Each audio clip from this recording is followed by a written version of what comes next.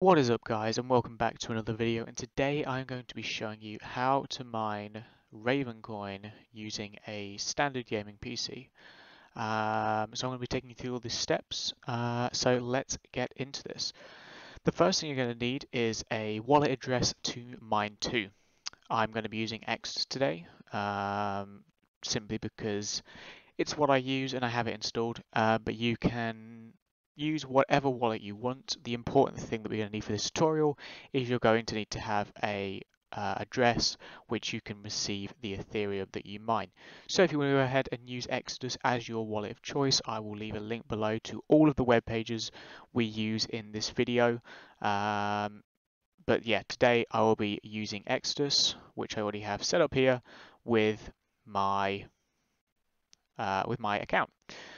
So if you've got your wallet set up, next thing we're going to do is we're going to make a file which is going to contain the mining software. Now the reason we have to make a file is because we have to tell the Windows uh, malware and virus protection that this file is safe because otherwise it will be flagged as malware. So I'm going to go ahead and create a new file folder and we can call this whatever we want. Because we are using NB Miner as our miner of choice in this video, I'm going to call it NB Miner.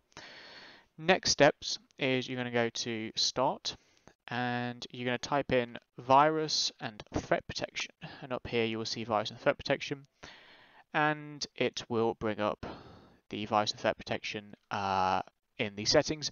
You can also navigate to settings, Windows security, virus and threat protection. We're going to go down here to where it says virus and threat protection settings and click manage settings. And then we're going to continue to scroll down and we're going to add a exclusion. Here you can see we've got a bunch of different exclusions that I've made previously, uh, which I can just go ahead and remove. So we're starting afresh for you all. Uh, actually, I'll keep that one because I am still using a model. So we're going to click on the add an exclusion and we're going to click folder because we're looking for a folder exclusion. And we're going to make sure we select the folder we created earlier, which I named NB Miner. But as I said, you could have named it whatever you want. It does not matter. Select folder and you will see it will show up as an exclusion, which means anything we put in here, it will not flag as malware or a virus. So we can go ahead and close that up. Next thing we're going to do is we're going to download the miner of choice and the miner that I'm going to be using for this tutorial today is the NB miner simply because it's what I've used, it's what I'm comfortable with and I feel like it's a really easy miner. So we're going to go ahead and download the NB miner uh, zip file. Uh, in this case the latest one for me is version 38.2. Again links are down below. You will see that will begin to download you'll see that it's actually gone ahead and blocked it, uh, which can happen. All you've got to do is go into your downloads, your Chrome downloads, which we showed, and it will say this file is dangerous, so Chrome has blocked it. We can either remove it or we can keep the dangerous file. We're going to click keep dangerous file, keep anyway. Do not worry, this is software used by millions and millions of people. Uh, oh, failed. Okay, so what we actually go do is with some late, latest versions of Chrome uh, and also Windows, it will flag that up. So we're just going to go back to virus and threat protection. And we're going to turn, I'll go to virus threat protection manage settings. I'm going to turn off real-time protection. Yes. Now, if we go back and try and download the zip file, Chrome will try and block it but once we press keep dangerous file, you see that it will in fact download. Depending on your version, you might have to go back and turn that off. Um, it just depends what version you're running.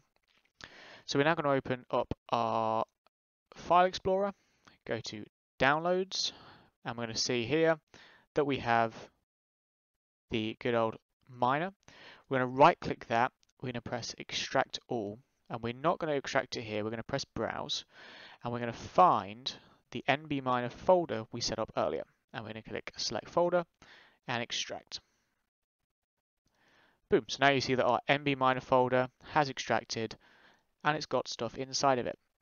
Now, just so I don't forget, I'm going to go back into the virus and threat protection settings and turn back on real-time protection because for certain things it can be quite handy. Uh, but for this tutorial, you may or may have to turn, may or may not have to turn it off depending on what version you're running.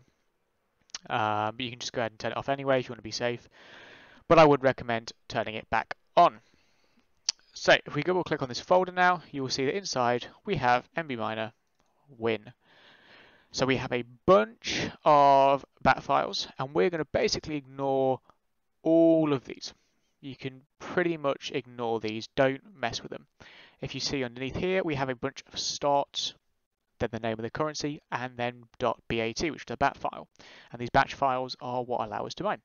So we are going to go ahead and select this start underscore rvn.batch. That's because the rvn stands for Ravencoin, and that is what we are attempting to mine.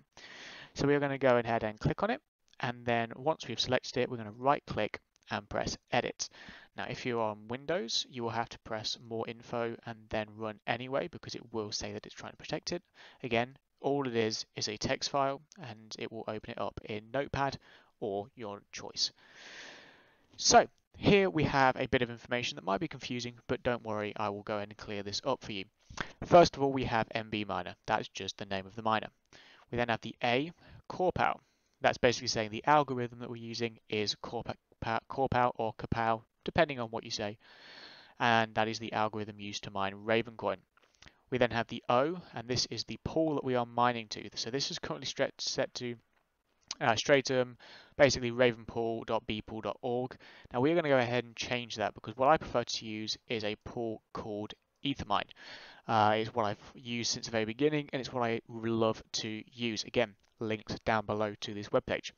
At the top here, we're going to make sure we select Raven and if we scroll down, uh, it gives us a bunch of information, uh, as well as what happens. It, eh, well, these are just people that have recently mined a block. At the top right here where it says start mining, if we click on that, it will give us all the information we need. So the first thing we're going to do is we're going to take the server, which is Stratum ravencoin.flypool.org, and we're going to copy that, and we are going to replace it with this stratum.org in here. Boom. So it now says stratum slash ravencoin.flypool.org. Now see we have a Stratum port. We want to change that to the Stratum port, which is being uh, suggested over here. Uh, again, 3333 is the port used here. So again, we're going to copy that and replace the port that is given here. And that's as easy as that.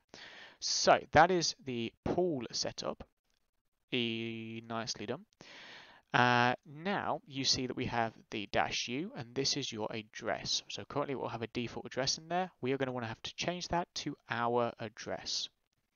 So we're going to head into Exodus or your wallet of choice and click on the receive button and that will show up our Ravencoin address. If we simply copy that, we are going to replace it with the address they've given here. So after the U, before the period and paste that in and you'll see our address now shows up there.